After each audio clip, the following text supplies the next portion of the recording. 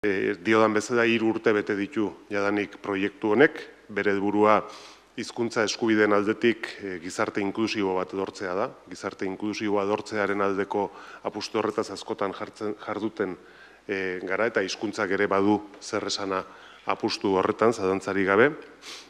Administrazio publikoak hori dortzeko bidean badauzkagu bete beharrak, baino gizarte edebidun baterantz e, joateko ezinbestekoa zaigu parte hartzea sustatzea eta elkarladana sustatzea eta nik uste gaur hemen adierazten dugun argazki honetan hori e, biztaratzen dugu da zadantzarik e, gabe.